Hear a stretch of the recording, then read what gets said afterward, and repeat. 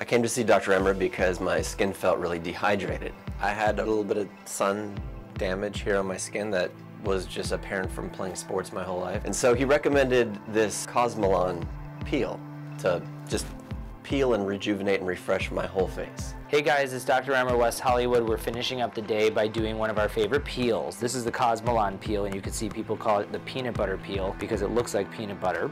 This is made of a combination of vitamin C, azelaic acid, kojic acid, hydroquinone, retinol, and all that in combination tells the skin to exfoliate. By applying this in a thin film, it stays on for between 8 and 10 hours, and so within two weeks, most of your skin and its surface has shed all the sun damage, any discoloration, etc. will get improved.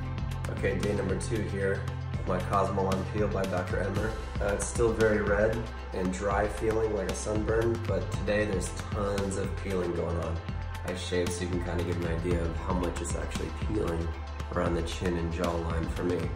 I'm not sure if everyone gets as much peeling on day two, but I have tons of peeling today. So other than that, pretty easy. Lots of redness, lots of peeling, and just redness. but once you get past that, the result's amazing. I highly recommend it.